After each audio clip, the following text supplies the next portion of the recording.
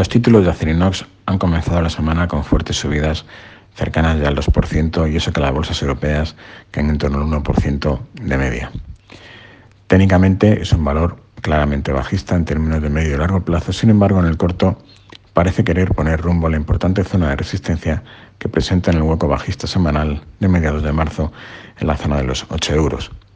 hueco que se rellenó en el rebote de junio, pero que en ningún caso se cerró o lo que es lo mismo anuló. Por lo tanto, vamos a ver cómo se comporta el precio ahí. Si fuera capaz de cerrar un viernes por encima, este hueco se anularía y por lo tanto no descartamos incluso un movimiento en busca de la parte alta del canal bajista a medio plazo que hará pasar por el entorno de los aproximadamente 11 euros.